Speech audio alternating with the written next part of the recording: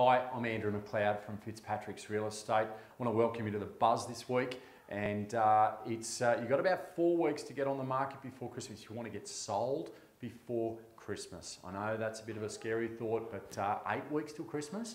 So lots happening in the market at the moment, and uh, certainly really feel that momentum right through. Uh, we believe right through to Christmas. With new properties coming to the market this weekend, we've got 34 Kaloona Drive up there in Bourkelands. That is for the summer entertainers. Stunning, you know, pool, entertaining area, and a great sized family home with three living spaces. So please come and check that out this weekend. 370 Wattle Wattle Hill Road, and that is on 100 acres, and that is a fantastic home. Now, it hasn't been a lot of this sort of property coming on the market, but please come and check that out or give us a call. Only too happy to give you some more information on that.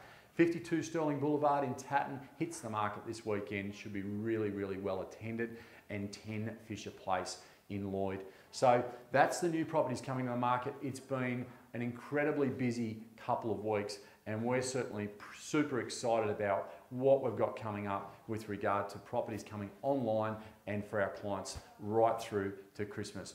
Auctions this weekend, we've got 152 Forsyth Street. Helen's uh, got an auction there. That's a great development opportunity or renovator. My name's Andrew McLeod. I hope we see you out there this weekend. Thanks for watching.